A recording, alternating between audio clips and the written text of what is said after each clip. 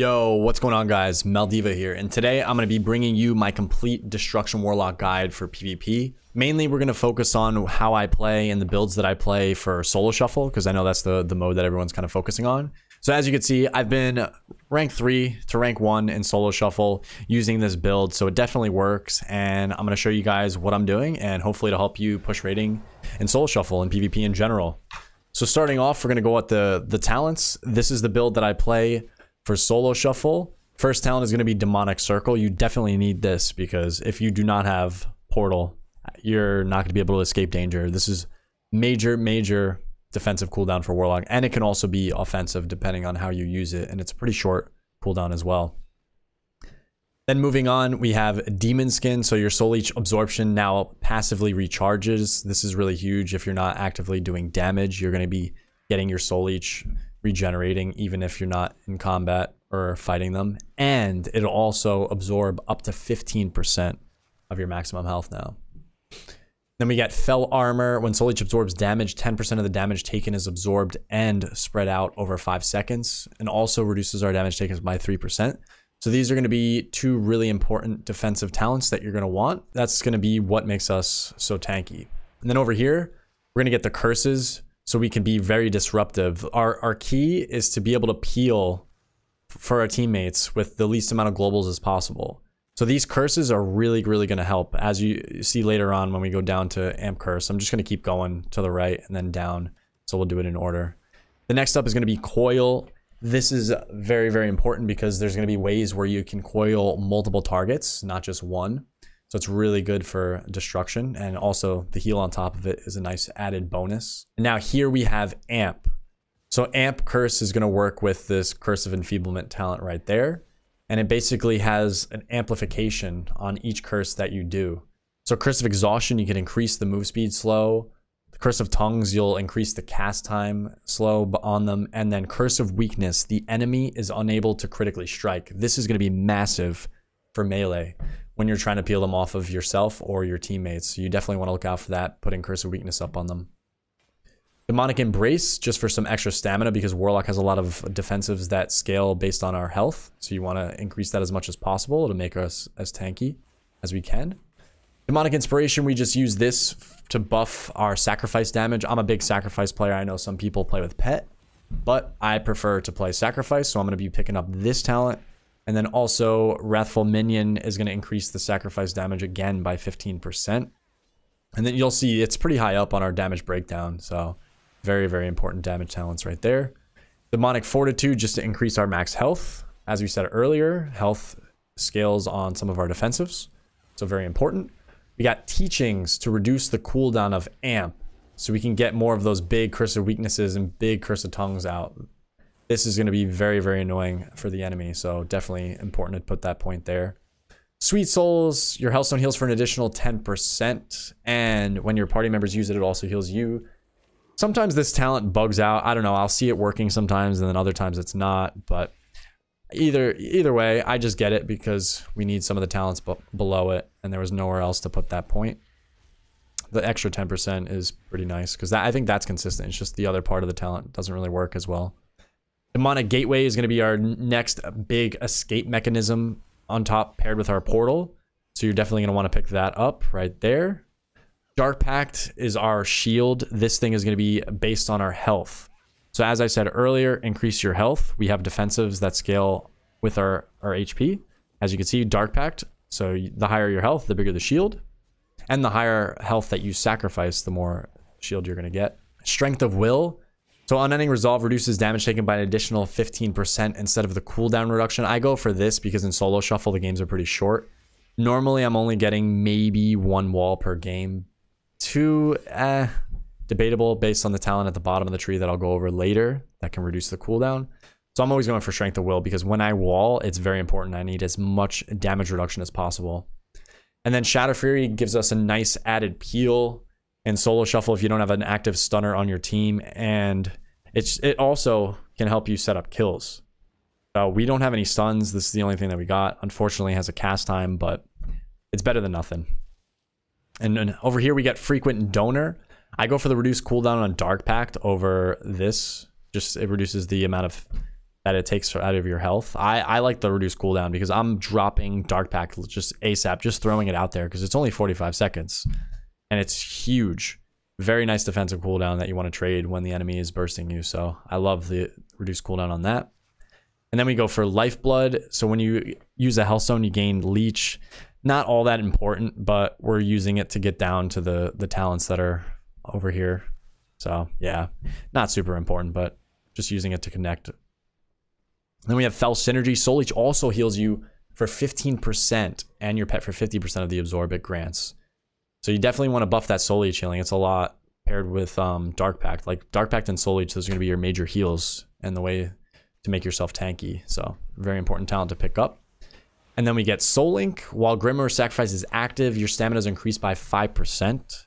If you had a pet out, you would be able to split 10% of the damage, but I like to play with Sac.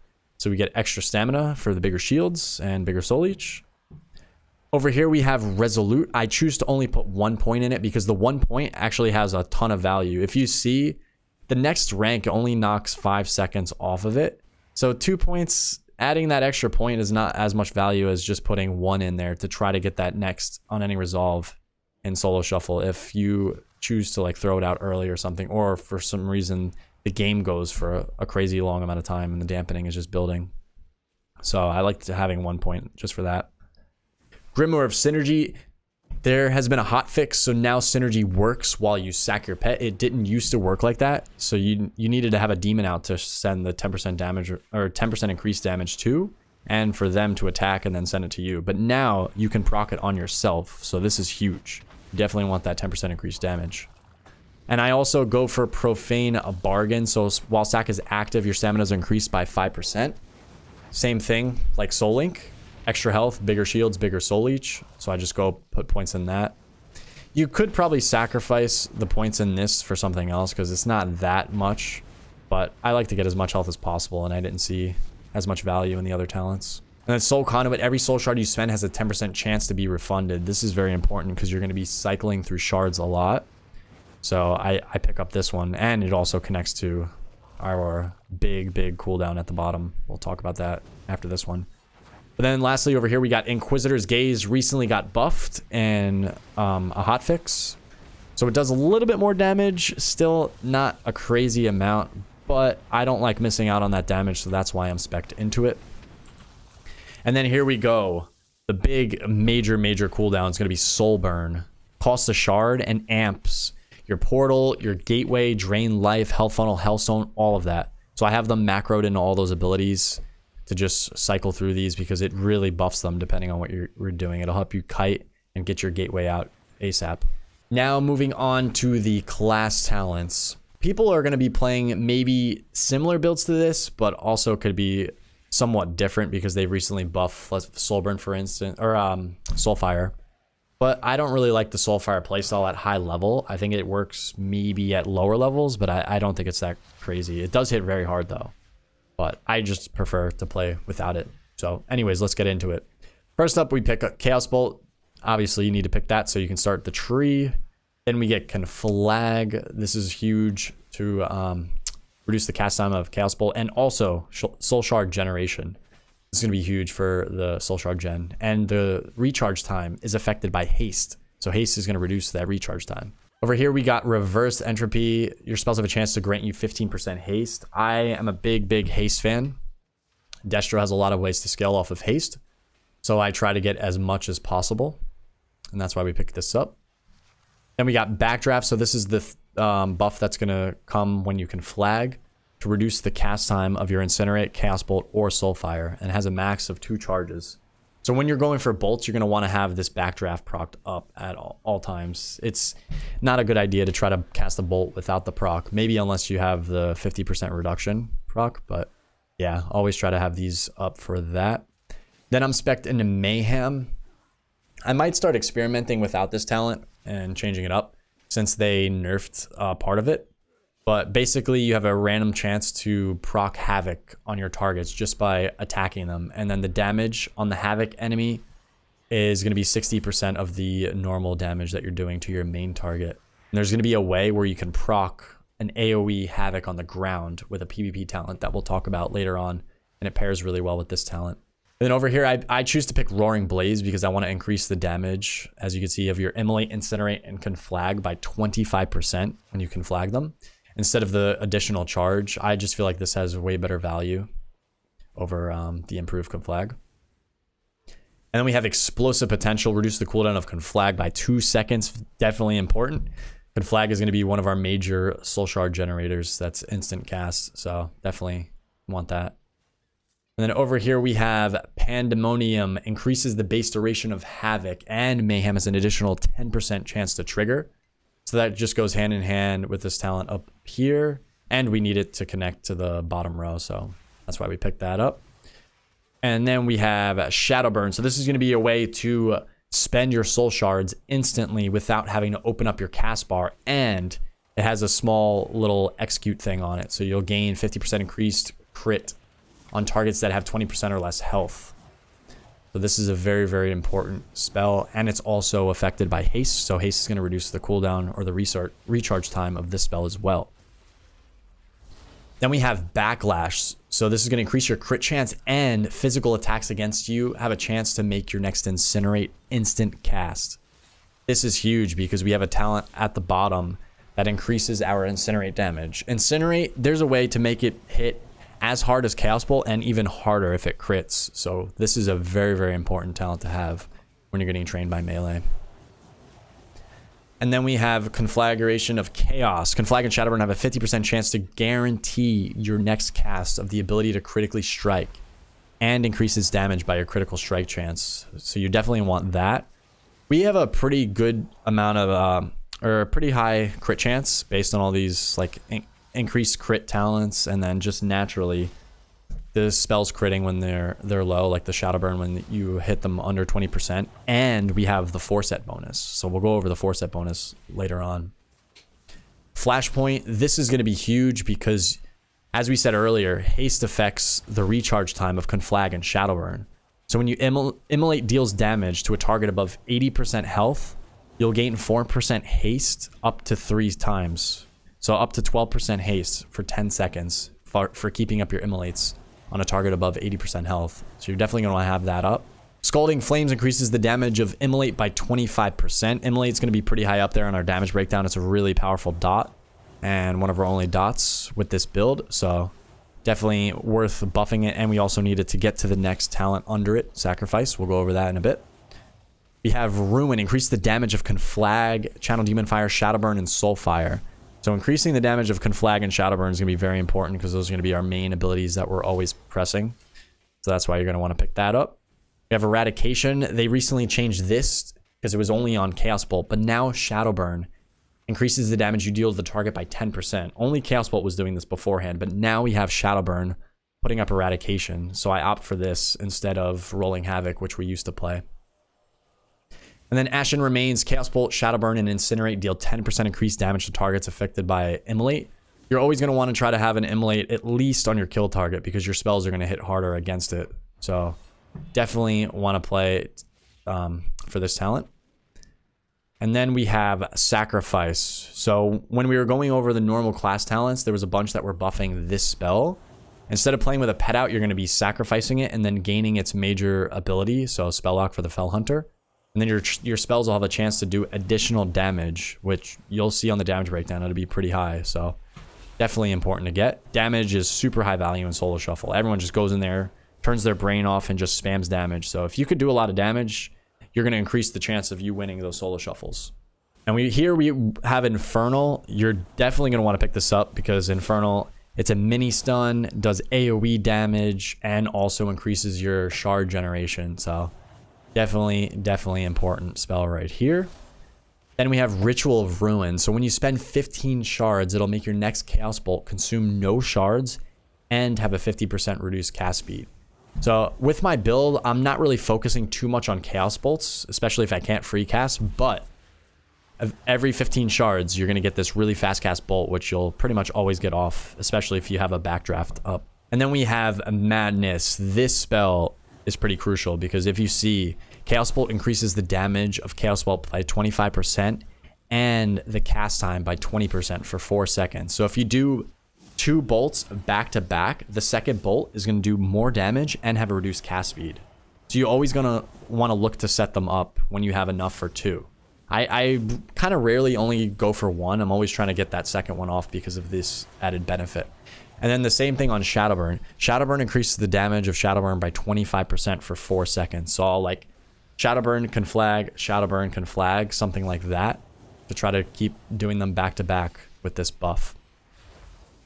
And then Burn to Ashes. So Chaos Bolt and Rain of Fire increase the damage of your next two Incinerates by 30%.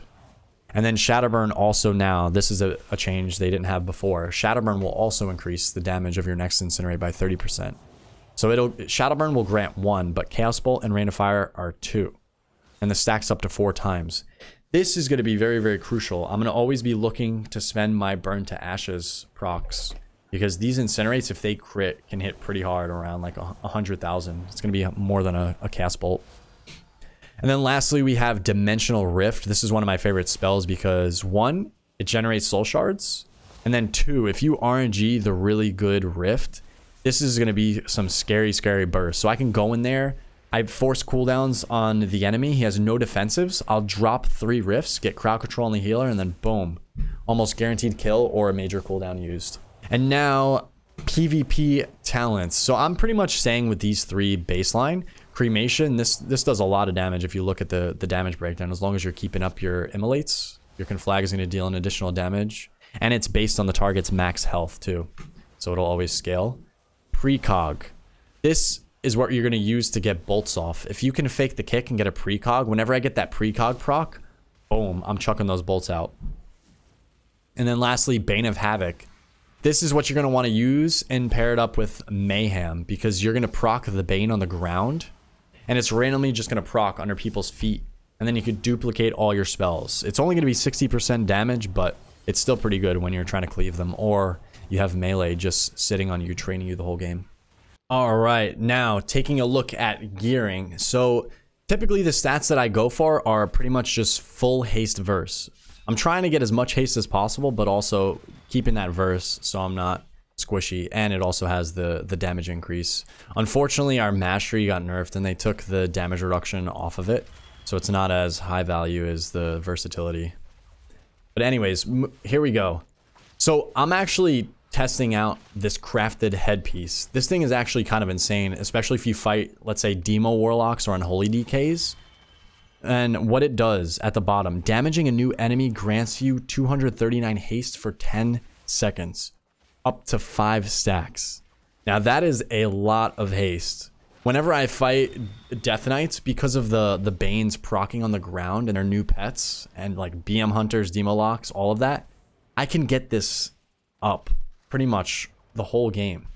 Now, for other uh, like opponents that don't have as many pets, yeah, you're not going to be procking it a lot, which is fine. But I, I just like the stats on it as well because the haste is really high compared to the other helmet. So that's just why I, I use this, especially for Destro. And then the neck, we have the Haste Averse gems. You're going to get all this stuff on the auction house. I do have the Lariat as well. This is also another option if you don't have the crafted helm. I've been using the Lariat. It's also an, a nice option, but you can only use two, as you can see. So I can't use the headpiece and the neck since I have the, the belt, which we'll go over in a bit. And then I have the four set. If you see down here, consuming soul shards has a chance to grant you Chaos Maelstrom, increasing your crit chance by 10%. And then your crits deal 208% damage instead of their usual 200%. Now, I've heard uh, like mixed uh, reviews, I guess, on this set. People are saying they don't really think the four set's worth it for Destro. I'm still kind of on the fence. I don't really know. I kind of just go in wear the set but I could potentially just wear two set, which is the minimum that I would wear, and then get the better stats for wearing the other pieces because some of the stats on this gear isn't all that great. But for now, I mean, I'm just using the four set. It's not that big of a deal. And here we got the speed enchant on our cloak. For the chest piece, we have stats. On my bracers, I was able to put a socket because if you select the vault, if you get the tokens, the vendor is right next to it, and then you can buy sockets for a couple of your pieces. And this is going to be with the speed enchant. On my weapon, I also have the haste proc enchant. Then we have the tier gloves. The belt, this is also a crafted piece. Very important because it's going to reduce the duration of incoming crowd control. And it scales up to 424 in PvP. So definitely very, very important to have this. And then on my pants, I have the 177 intellect and 105 stamina enchant. Boots, we have speed, and I have the world PvP boots just because they're haste verse and there's none haste verse from the vendor. I'm using the haste verse ring and then also the primary stat haste gem with the haste enchant on top of it. And we have the crafted ring. I was able to get this at a 418 level with the haste enchant and haste verse gem on it. This is kind of complicated to, to craft because you need this the higher reagents that you get for doing like high-end Mythic Plus, high-end rating, and I think PvP over 2400. So it's a little bit harder to get this eye level, but you could still make it at just at a, a lower item level. And you can wear this with two of these embellished ones because only the embellished ones count that have the procs on them for the unique equipped too. Then I have the normal medallion since I'm an orc. I need the PvP trinket and proc trinket. All right, now it is time for the good stuff. So I'm gonna kind of go over the priority system and my general mindset when I'm in solo shuffle or PvP in general as a Destro Warlock. And also I wanna just make this clear. The way that I play and my priority system is probably going to be different from the other Destro locks because some people like to Shadowburn first, some people like to Conflag first. We all have our preferences. So I'm just going to go based on what I do and what works in Arena. So I, I just had to get that out of the way. But without further ado, here we go. So when I jump into Arena, i will go over like a typical opener. So let's say this PvP dummy, I'm getting out. I already got my port gate set up. What I'm going to do is I'm going to go and put the conflag just so I can get my shard gen going. I can also get the buff up. And then I'm going to spend my Shadow Burn. I want to get these both on cooldown as fast as possible because they recharge so fast. So again, I will go like Conflag, Shadow Burn, Conflag, Shadow Burn. I'll typically do that before putting my Immolate up because I don't, I don't really like to put on my Immolate first. I'd rather just shoot those out because they're instant and it's a little bit easier. But sometimes, depending on the situation, I will put the Immolate out. But most important, just make sure at least you use one charge of each, and then you can get your, your immolates out. And now as you can see, I have my backdrafts and I've kept my burn to ashes procs. So what I could do is I could just start incinerating to spend these and totally just not even worrying about chaos bolt.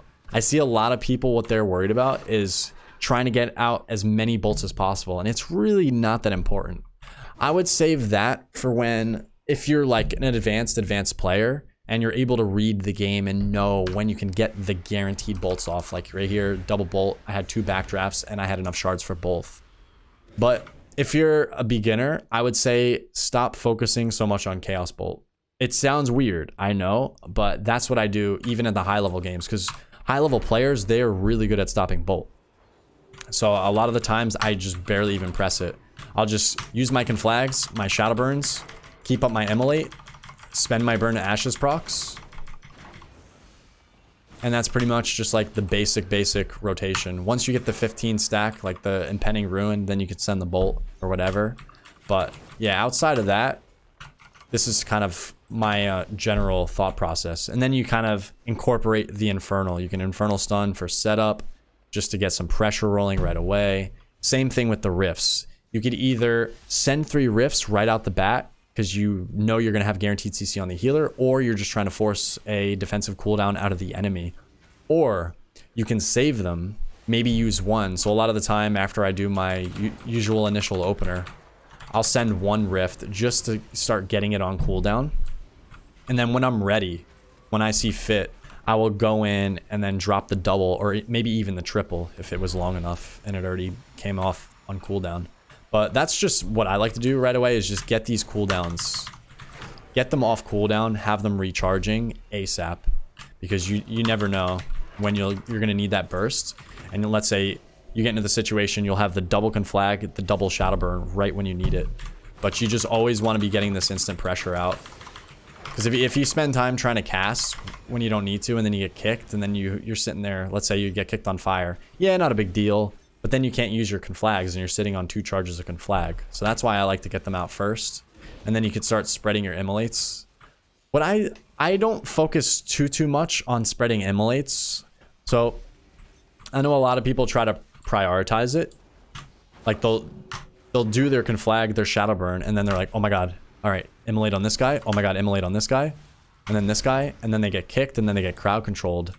See, for me, I don't really focus super, super hard. I'll immolate when I have a free chance, but I'm trying to prioritize using the conflag and the shadow burn before doing it. Then I'll spread my immolates when these are on cooldown, just to maximize my damage and my instant pressure, because these are going to be the big, hard-hitting abilities, and they also give you your stacks.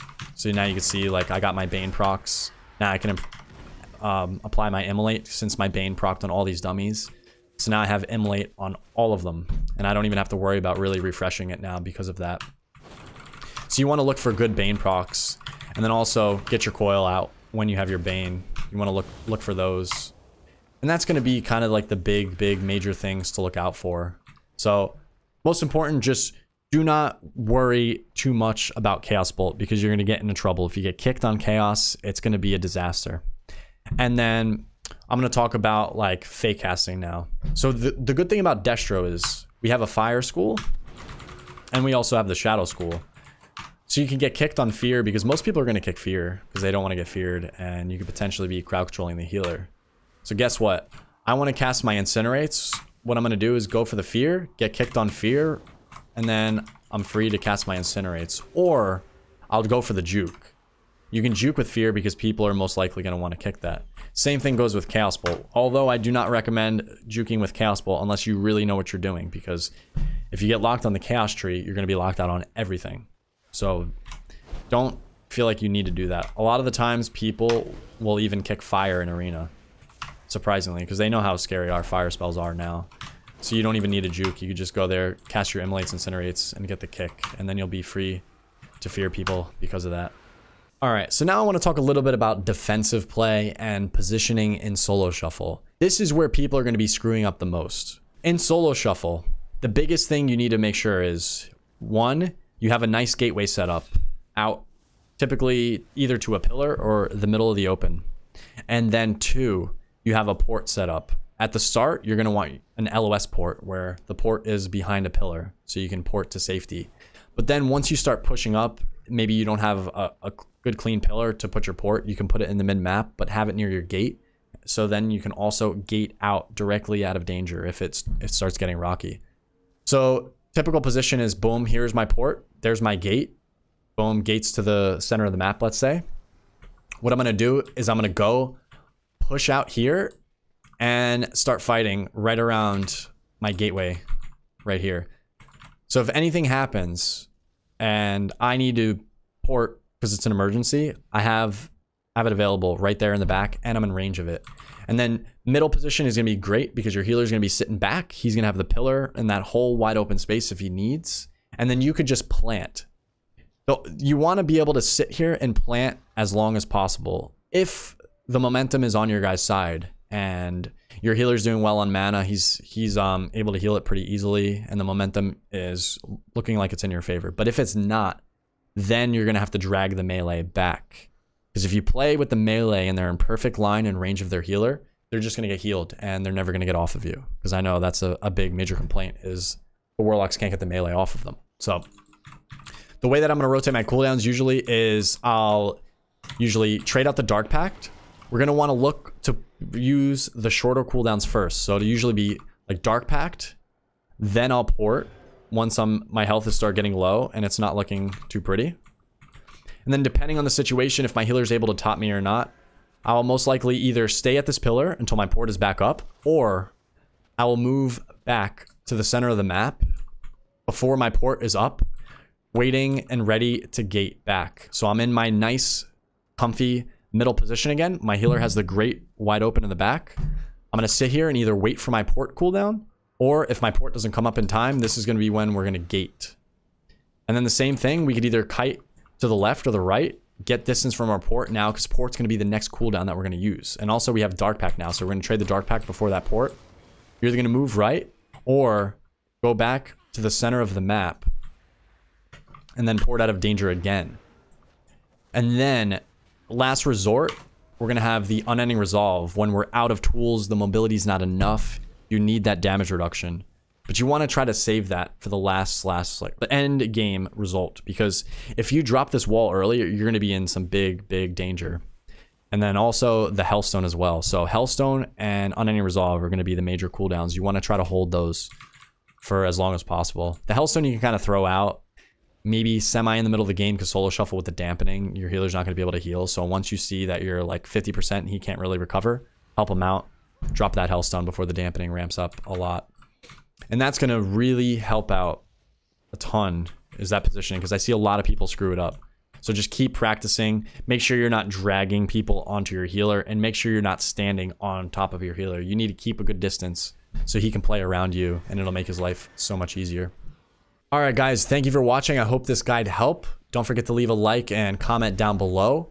And I will also be doing guides just like this for the other specs. So if you want to see the other specs, let me know in the comments and I will see you guys in the next video.